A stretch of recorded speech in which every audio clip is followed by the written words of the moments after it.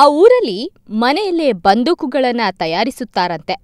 ಪ್ರಾಣಿಗಳನ್ನು ಬೇಟೆಯಾಡುವ ಸಲುವಾಗಿ ನಾಡ ಬಂದೂಕುಗಳನ್ನು ತಯಾರಿಸಿ ಬಳಸುತ್ತಿರುವುದು ಇದೀಗ ಪೊಲೀಸರ ಕಣ್ಣಿಗೆ ಬಿದ್ದಿದೆ. ಯಾವುದು ಆ ಊರು? ಈ ಸುದ್ದಿ ನೋಡಿ.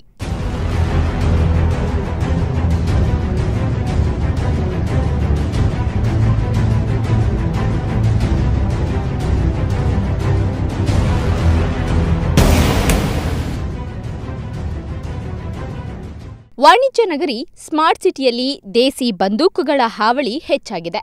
ಮನೆಯಲ್ಲೇ ಕಂಟ್ರಿಗನ್ಗಳನ್ನು ತಯಾರಿಸಿ ಪ್ರಾಣಿಗಳನ್ನು ಬೇಟೆಯಾಡಲು ಬಳಸುತ್ತಿದ್ದಾರೆ. ಇದು ಪೊಲೀಸ್ ಇಲಾಖೆಯ ಗಮನಕ್ಕೆ ಬಂದಿದ್ದು ಭರ್ಜರಿ ಕಾರ್ಯಾಚರಣೆ ನಡೆಸಿದ್ದಾರೆ. ದಾವಣಗೆರೆ ಎಸ್ಪಿ ಹನುಮಂತರಾಯ ನೇತೃತ್ವದಲ್ಲಿ ನಡೆದ ಕಾರ್ಯಾಚರಣೆಯಲ್ಲಿ ಎರಡು ನಾಡ ಬಂದೂಕುಗಳನ್ನು ವಶಪಡಿಸಿಕೊಳ್ಳಲಾಗಿದೆ. ನ್ಯಾಮತಿ ತಾಲೂಕಿನ ಚಿನ್ನಿಕಟ್ಟಿ ಗ್ರಾಮದಲ್ಲಿ ಕುಂಬ್ರೇಶ್ ಅವರ ಮನೆಯಲ್ಲಿ ಲೈಸೆನ್ಸ್ ಇಲ್ಲದೆ ಎರಡು ನಾಡ ಬಂದೂಕುಗಳು ಪತ್ತೆಯಾಗಿದೆ. ಇದರೊಂದಿಗೆ ಗನ್ಗೆ ಬಳಸುತ್ತಿದ್ದ ಸ್ಟೀಲ್ ಬಾಲ್ಸ್ ಹಾಗೂ ಮೂಳೆಗಳು ಮತ್ತು ಗನ್ ಪೌಡರ್ ಅನ್ನು ವಶಪಡಿಸಿಕೊಂಡಿದ್ದಾರೆ. ಈ ಬಗ್ಗೆ ನ್ಯಾಮತಿ ಪೊಲೀಸ್ ಠಾಣೆಯಲ್ಲಿ ಪ್ರಕರಣ ದಾಖಲಾಗಿದ್ದು, ನಾಡ ಬಂದೂಕು ಹೊಂದಿದ್ದ ಆರೋಪಿ ವೀರಸ್ವಾಮಿ ಅವರನ್ನ ಪೊಲೀಸರು ಬಂಧಿಸಿದ್ದಾರೆ. ಆದರೆ ಮತ್ತೊಬ್ಬ ಆರೋಪಿ ಕುಮ್ರೇಶ್ ತಲೆಮರೆಸಿಕೊಂಡಿದ್ದಾನೆ. ಮತ್ತು ಗನ್ ಪೌಡರು ಈ ಥರ ವಸ್ತುಗಳು ಸಿಕ್ಕಿದ್ದಾವೆ ಇವೆಲ್ಲವನ್ನು ಇದಕ್ಕೆ ಮಜಲ್ ಲೋಡ್ ಅಂತ ಹೇಳ್ತೀವಿ ನಾವು. ಆ ಕೋವಿಯಿಂದ ಮುಂದೆ ತುಂಬಿ ಅದನ್ನು ಅವರು ಬಳಸ್ತಿದ್ರು. ಸೊ ಇದರಲ್ಲಿ ವೀರಸ್ವಾಮಿ ಅನ್ನೋರಿಗೆ ನಾವು ಅರೆಸ್ಟ್ ಮಾಡಿದ್ದೀವಿ ಮತ್ತು ಅವ್ರ ಮಗ ಕುಂಬ್ರೇಶ್, ಅವನು ಎಬ್ಸ್ಕಾಂಡಿಂಗ್ ಇದ್ದಾನೆ.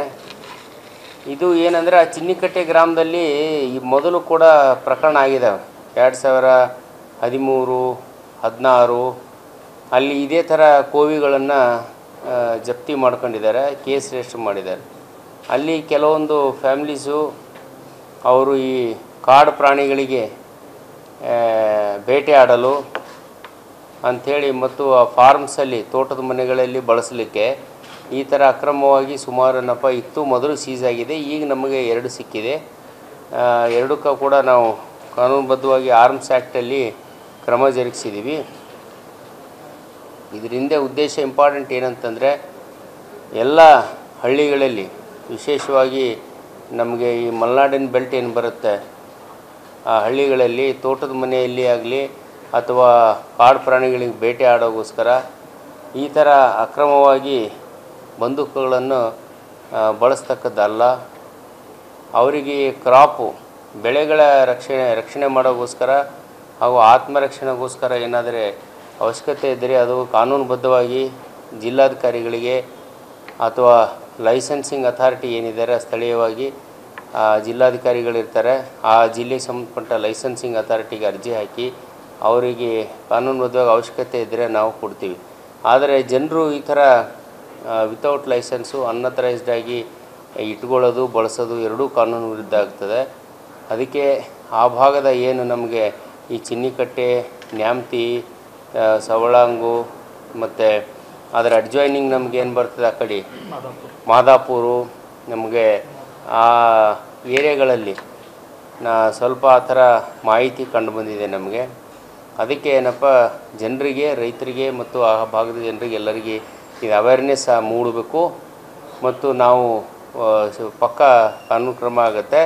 ಭಾಳ ಕಠಿಣ ಕಾನೂನಿದೆ ಆರ್ಮ್ಸ್ ಆ್ಯಕ್ಟು ಅದರಲ್ಲಿ ಏನಪ್ಪ, ನಾವು ಕ್ರಮ ಜರುಗಿಸ್ತೀವಂತೆ ಹೇಳುತ್ತಾ ನಮ್ಮ ಟೀಮ್ ಇನ್ಸ್ಪೆಕ್ಟ್ರು ಮತ್ತು ಮಾಹಿತಿ ತೆಗೆದು ದಾಳಿ ಮಾಡಿ ಇದನ್ನು ಸೀಸ್ ಮಾಡ್ಕೊಂಡಂಥ ಎಲ್ಲ ಪೊಲೀಸ್ ಸಿಬ್ಬಂದಿ ಹಾಗೂ ಅಧಿಕಾರಿಗಳಿಗೆ ಧನ್ಯವಾದಗಳು. ಮತ್ತು ಜಿಲ್ಲಾ ಪೊಲೀಸ್ ವತಿಯಿಂದ ಅವರಿಗೆ ನಾವು ರಿವಾರ್ಡು ಮತ್ತು ಪ್ರಶಂಸನೆ ಪತ್ರವನ್ನು ಕೊಡ್ತೀವಿ. ಎರಡ್ ಸಾವಿರದ ಹದಿಮೂರರಲ್ಲಿ ಇದೇ ಚಿನ್ನಿಕಟ್ಟಿ ಗ್ರಾಮದಲ್ಲಿ ಇಪ್ಪತ್ತಾರು ನಾಡ ಬಂದೂಕುಗಳನ್ನು ವಶಪಡಿಸಿಕೊಳ್ಳಲಾಗಿತ್ತು. ನ್ಯಾಮತಿ ಪಕ್ಕದಲ್ಲೇ ಶಿವಮೊಗ್ಗ ಜಿಲ್ಲೆಯಿದ್ದು ಕೆಲ ಮನೆಗಳಲ್ಲಿ ಕಟ್ಟಿಗೆ ಮತ್ತು ಕಚ್ಚಾ ವಸ್ತುಗಳನ್ನು ಬಳಸಿ ನಾಡ ಬಂದೂಕುಗಳನ್ನು ತಯಾರಿಸುತ್ತಾರೆ. ಅಲ್ಲದೆ ಅವುಗಳಿಂದಲೇ ಪ್ರಾಣಿ ಬೇಟೆ ಆಡಲು ಬಳಸುತ್ತಿದ್ದಾರೆ ಎಂಬ ಆತಂಕಕಾರಿ ಮಾಹಿತಿ ಬೆಳಕಿಗೆ ಬಂದಿದೆ. ಈ ಹಿನ್ನೆಲೆಯಲ್ಲಿ ಅಕ್ರಮ ನಾಡ ಬಂದೂಕುಗಳ ತಯಾರಿಸುವವರ ಮೇಲೆ ಪೊಲೀಸ್ ಇಲಾಖೆ ಹದ್ದಿನ ಕಣ್ಣಿಟ್ಟಿದೆ. ಯಾರೂ ಲೈಸೆನ್ಸ್ ಇಲ್ಲದೆ ಗನ್ಗಳನ್ನು ಹೊಂದುವಂತಿಲ್ಲ ಎಂದು ಎಚ್ಚರಿಕೆ ನೀಡಿದೆ. ಗ್ರಾಮದಲ್ಲಿ ಕುಂಬ್ರೇಶ್ ತಂದೆ ವೀರಸ್ವಾಮಿ ಅವ್ರ ಮನೆಯಲ್ಲಿ ಈ ಥರ ಅಕ್ರಮವಾಗಿ ಕೋವಿಗಳು, ಬಂದೂಕು ಇದಾವಂಥೇಳಿ ಮಾಹಿತಿ ಬಂದ ಮೇರೆಗೆ ನಮ್ಮ ಇನ್ಸ್ಪೆಕ್ಟರ್ ಹೊನ್ನಾಳಿ ದೇವರಾಜ್ ಅವರ ತಂಡ ಹಾಗೂ ಸಿಬ್ಬಂದಿ, ಡಿ ಎಸ್ ಪಿ ಚೆನ್ನಗಿರಿ ಮುನ್ನೋಳ್ಳಿಯವರ ಮಾರ್ಗದರ್ಶನದಲ್ಲಿ ಹಾಗೂ ಅವರು ಮಾರ್ಗದರ್ಶನದಲ್ಲಿ ಅದನ್ನು ದಾಳಿ ಮಾಡ್ತಾರೆ. ದಾಳಿ ಮಾಡಿದಾಗ ನಮಗೆ ಮನೆಯಲ್ಲಿ ಎರಡು ಕೋವಿ ಸಿಗ್ತವೆ. ಅದ್ರ ಜೊತೆ ಅದಕ್ಕೆ ಬಳಸಕ ಬಳಸಕ್ಕಂಥ ಗನ್ ಪೌಡರ್ ಮತ್ತು ಸ್ಥಳೀಯರೇ ನಾಡ ಬಂದೂಕು ತಯಾರಿಸುತ್ತಿರುವುದು ಆಘಾತಕಾರಿ ವಿಷಯವಾಗಿದ್ದು, ಪೊಲೀಸ್ ಇಲಾಖೆ ಇತ್ತ ಗಮನ ಹರಿಸಿ ಅಕ್ರಮ ಗನ್ ಹೊಂದುವವರ ಮೇಲೆ ಮತ್ತು ತಯಾರಿಸುವುದಕ್ಕೆ ಕಡಿವಾಣ ಹಾಕಬೇಕಿದೆ. Mallikarjuna Kaidale, democratic TV, Davanagere.